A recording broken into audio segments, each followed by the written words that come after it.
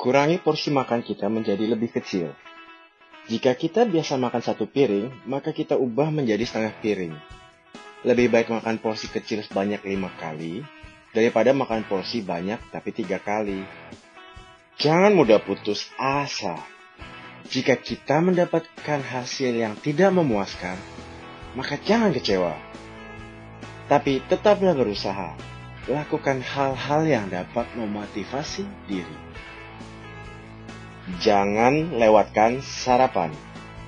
Bagi orang yang menginginkan langsing, sarapan tetap dianjurkan. Dengan sarapan, kebutuhan kita akan energi untuk membakar lemak dapat terpenuhi. Selain itu, sarapan juga berguna untuk efektivitas kerja. Sarapanlah, meskipun hanya sedikit. Perbanyak konsumsi makanan kaya serat Makanan yang kaya serat sangat membantu untuk mencegah sembelit, melancarkan pencernaan, dan dapat memberi rasa kenyang. Misalnya buah-buahan dan sayur-sayuran.